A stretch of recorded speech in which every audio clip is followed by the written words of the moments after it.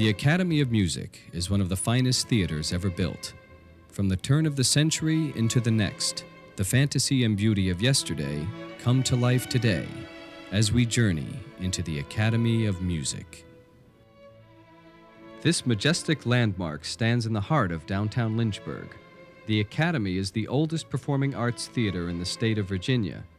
The theater has seen hard times but is still one of the finest examples of Beaux-Art architecture to be found anywhere in the world, with nearly perfect acoustics. Completed in 1904, the Academy opened its doors with its first major production, The Showgirl, starring Stella Mayhew. In the years that followed, many other productions were shown, including Romeo and Juliet, The Butterfly, and probably the most challenging production ever undertaken, Ben Hur. This performance included a cast of over 250 and eight horses in the climactic chariot race. In 1911, only six years after it was erected, the Academy of Music caught fire. Driven by determination, the Lynchburg community came together to raise the roof once again. After six months of intense manual labor, the theater was reopened in 1912 with a new stage and improved acoustics. The Academy immediately became the theater of choice for the performing arts in the southeastern United States. In the years that followed, the Academy attracted stars from around the world, show after show, performance after performance, from Paderewski to Fairbanks to Pavlova. Top directors, conductors, and performers filled this hall with their grace and magic. As time marched on through the 20s and 30s, the advent of motion pictures caused a shift from theatrical performances to this exciting new medium. In the decades that followed, the Academy tried to evolve with the times.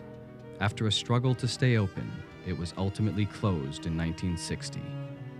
This once thriving hall was reduced to a hollow building with only empty shadows and the memories of stars long since gone. After lying in decay for 33 years, a tornado ripped the roof off of the Academy in 1993. The damage was so severe that rather than repair the roof, the entire stage was completely torn down, destroying nearly 81 years of heritage. At the Academy's darkest hour, it was feared inevitable that the building would be condemned.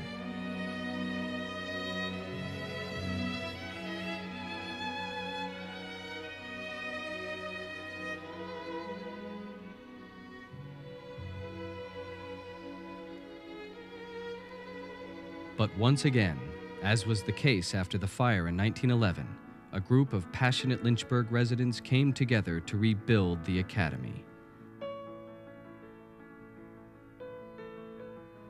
However, with low funds, work was slow and tedious. A million different things, and all of them cost money. All of them take a lot of work and uh, a lot of talent. And any money or talent that we can get in here just gets the building that much done that much faster. But work never stopped and hope was never lost. As the doors reopened, more and more residents became enthusiastic about the possibility of rebuilding and restoring the theater they had long forgotten.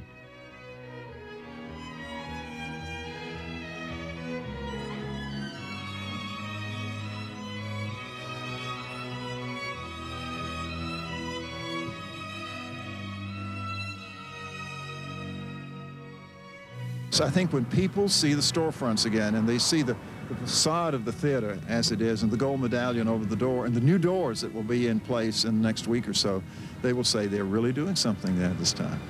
This could be the center for a whole region, uh, that it's going to be a theater that promotes diversified performance.